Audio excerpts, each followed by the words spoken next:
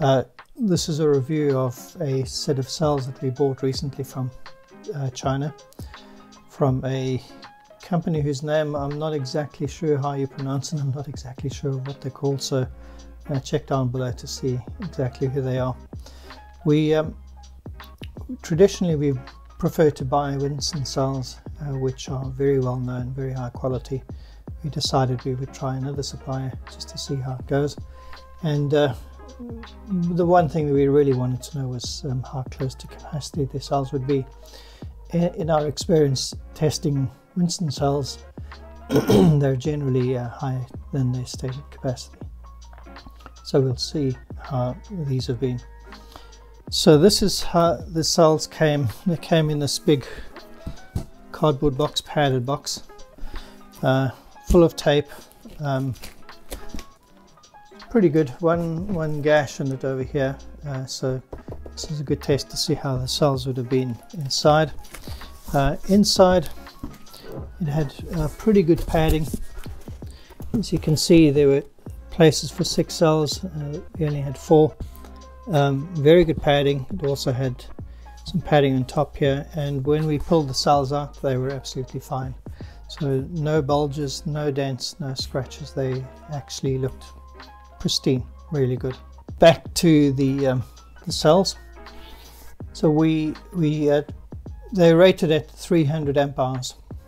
Uh, we had originally wanted to buy 280 amp hours, but they made it clear that they had none in stock and that they did have 300 amp hours for a slightly higher price, so we went for those. Um, we top balanced them to 3.65 volts by connecting them in parallel that took a long time because, as you could imagine, they arrive at around about 30% uh, state of uh, charge, so roughly 3.29 volts. So to uh, bring them up to 3.65 volts each uh, took the better part of several days. Uh, you're talking about about 20 hours per cell and multiply that by four, uh, it gives you about 80 hours that they needed to be on the charger to bring them up to the same voltage, a process called top balancing. We then, uh, and, and, we did that with the battery uh, in its uh, compressed enclosure. We wanted to avoid the swelling that happens naturally when these things uh, reach their full state of charge uh, right from the start. So these have never been charged without their enclosure. Uh, in theory, that would mean that they are going to last about a thousand cycles more than they would have. Uh, the fact that they are in this slightly compressed enclosure, uh, which stops them from expanding and contracting and, and, moving about, thereby causing stress on the terminals and, more importantly, delaminating of the uh, terminals inside there. Now, the um, as I said, they were rated at 300 amp hours. So we first, after top balancing and uh, then connecting them in series with the battery management system, a Daly 200 amp Daly. Uh, we then did three capacity tests, uh, two low current running at 15 amps and then a much higher current running at 160 amps. The low current or the low C capacity test was done with this tester which uh, goes to a maximum of 185 watts, uh, which translates roughly to about 14 amps. As the voltage decreases as the batteries are used up, obviously the, the amperage changes slightly. And so uh, we would uh, keep an eye on that and, and keep it close to its maximum of 185 amps, of, of 185 watts. And that uh, gave us two tests of approximately 285 amp hours. So roughly 5% uh, short of the 300 amp hour stated and actually much closer to a 280 amp hour um, battery. So instead of a 280 uh, 285 well actually it's stated at 300 so it should have been 300 we then we did a, a high capacity test using a shunt a smart shunt and uh, that came out remarkably similarly to the uh, low capacity tester so roughly 285 uh, amperes. I think about 284 uh, amperes. so all three tests therefore uh, showed that this battery was not up to the stated capacity.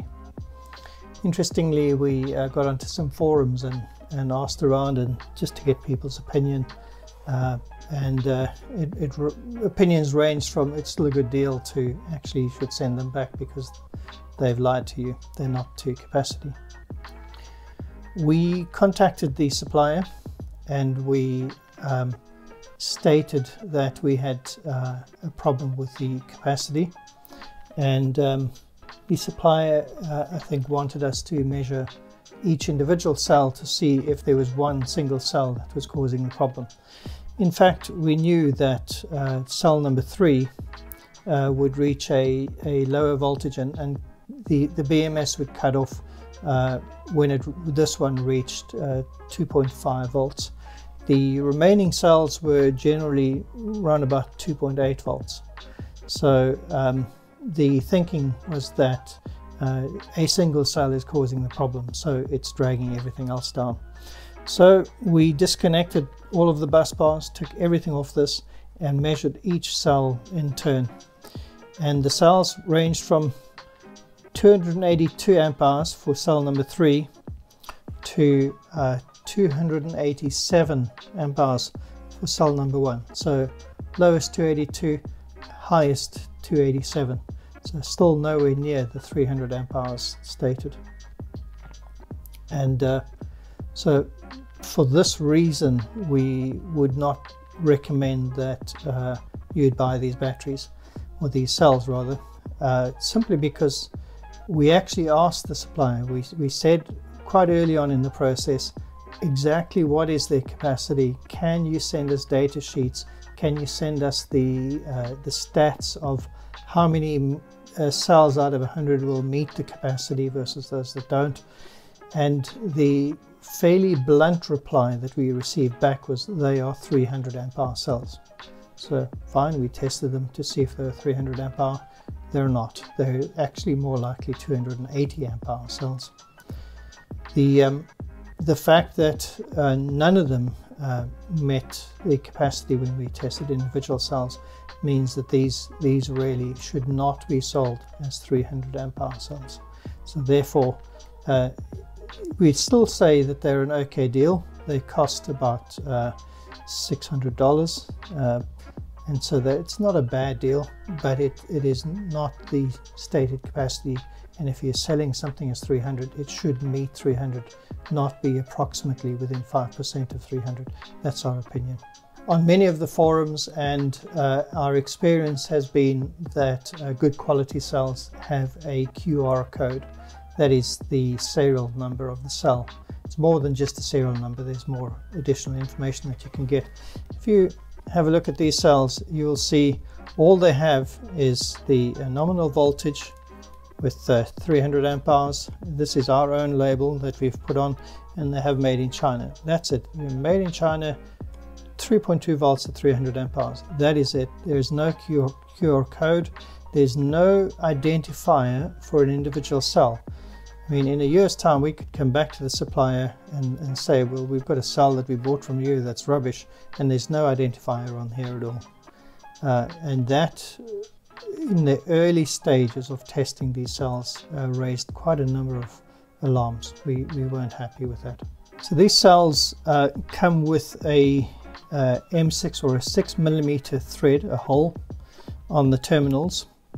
Um, they are really shallow and they, they are manufactured, I think, by Eve. We actually don't know who the manufacturer is, uh, but we know that Eve um, manufactured many, many cells that had uh, these kind of threads. So a, a M6 uh, hole that is about 8 millimeters deep, that's not an awful lot of thread. That's actually a fairly shallow thread in very soft aluminium. Uh, we've actually tested eight of these cells. We've shown you four here, but we, we actually had eight delivered and we're testing the others. And uh, very early on on the other one, with quite a light torque, we actually stripped one of these out completely and had to put helicoils in. So not that happy with them, but we can't hit the, the, the particular seller because we know that Eve has sent uh, many, many thousands of these sort of cells out like this.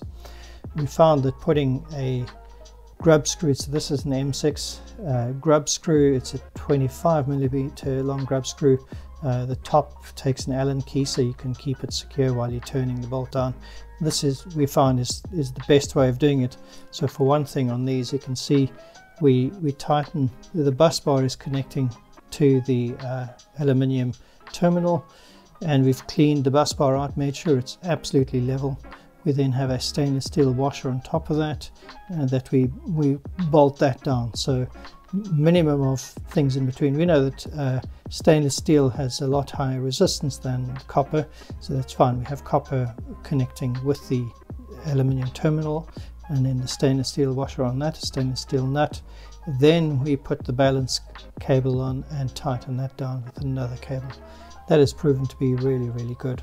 Uh, beneath the bus bar, between the bus bar and the terminal, we also have some paste, um, very thin layer just to stop corrosion. Uh, we don't believe that the paste actually helps with uh, connectivity or, or, conductivity rather. Uh, we think it just stops uh, corrosion you've got to have a really good level bus bar and a clean terminal and nip it down to about 4 newton meters. More than that and you will you'll pull these out.